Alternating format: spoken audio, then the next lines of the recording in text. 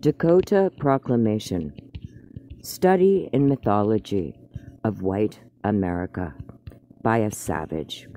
Meredith M. Quinn, Dakota. In sincere appreciation to Greg and Georgia, forgive me for asking of you what only gods can give. Ana Maria Puente, how does a person thank someone for the long hours of help that made this book possible? Pope, someone believes and it comes to pass only because there is someone. Sally, last, only because you are always first in my mind and heart. I hope this book joins that part of life that you may understand. Few people ever live to see it, for it is a journey that few get to make and return. Meredith M. Quinn, Dakota. Dakota Doctrine, February 1st, 1973. Preamble.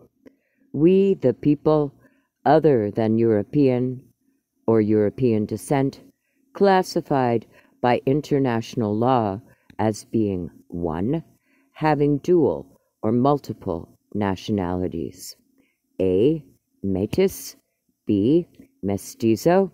C. Mustizo. D. Mongolian, E. Minor Asian. 2. Savage or Aboriginals, retaining their A. Languages and governments.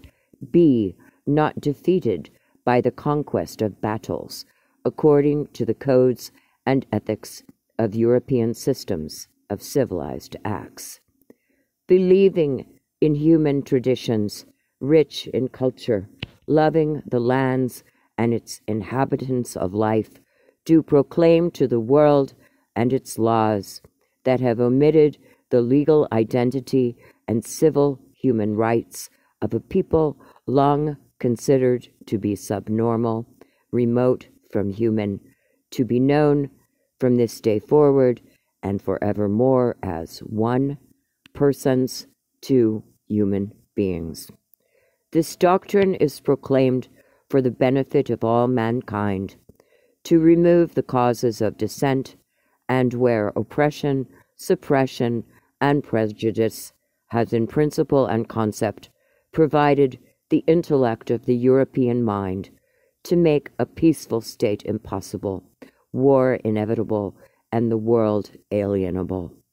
The languages, governments, traditions, culture, and history of these persons and human beings shall no longer be called primitive, pagan, or godless, because they have stood the test of time and the Creator's expression of balanced nature.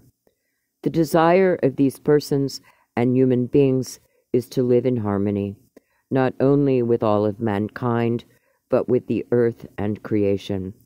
These persons and human beings shall have one common bond that no international boundary line that separates one legal nation from another, which is considered civilized by European standards, be separated in beliefs or allegiances that would oppress, suppress, or prejudice any man from mankind. These persons and human beings shall have their representation, justice, freedom, and equality not from European evaluation, but by the needs of the people in the area, the beliefs and hopes of the children, and the educational and philology of the leaders. Followed by the table of contents, Dakota Proclamation, Study in Mythology of White America, Table of Contents, Cover Idea by Tomas Castaneda, Creed of the Indigenous 1, Report of the Commissioner 2, Preface 3, Chapter 1, Introduction. Who am I? Page 6. The Lie in Every Thought. Page 8. His Lie Made Him a Nomad. 10. Foundations for the Facts. 11. Chapter 2, Indian Identity. Out of the Puzzle Pick the Indian, 14. A Briefing, 19. Chapter 3 Salute to Activists, Those That Stand in the Way, 21. The Commission, 23. The 200 Year Old Club, 23. The Reason of the Commission, 24. Know the Indian you're fighting for, 25. The Clues that Point the Beginning, 25. The Game and Rights of the Privileged Few, 27. Chapter 4 The Rule He Is Under, The Beginning, 29. Tell a lie and it becomes the truth, 30. How to have perfect slavery, 32. Why not give it to the world, 35. Freedom or death, which, 39. The Great Hope, 42. Who's kidding whom, 44. The Indian is told to go ahead and make his future, 45. Everybody helps the lie, 45. A Guide to Indian Legal Terminology, 52. Chapter 5 Termination. The White Charger, 57. What is termination, 60. Go all the way, 65. Chapter 6 His Land. Mom's Apple Pie, 68. Three Cheers for Freedom, 69. It Really Works, 70.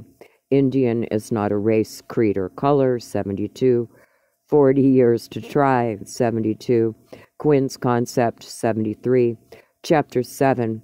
Bureau of Indian Affairs, Blame the Goat, 80. Cannot Protect the Indian, 83. Chapter 8. Indian sovereignty versus United States citizenship. Nobody has to tell the truth. 88. Chapter 8 Indian sovereignty versus United States citizenship. Continued. The impossible becomes a lie. 89. The five citizenship acts for the Indians. 91. Everybody's in the wrong country. 97. Chapter 9 Interior and Insular Affairs, 108. Chapter 10 Genocide, Treason. Who controls the cleanliness of the Indian? 112. Graphs, 113. Persons, inhabitants, savages, 118. What kind of murder? 119. Reservation genocide, 120. An Indian Genocide Convention, 121. Treason, 125.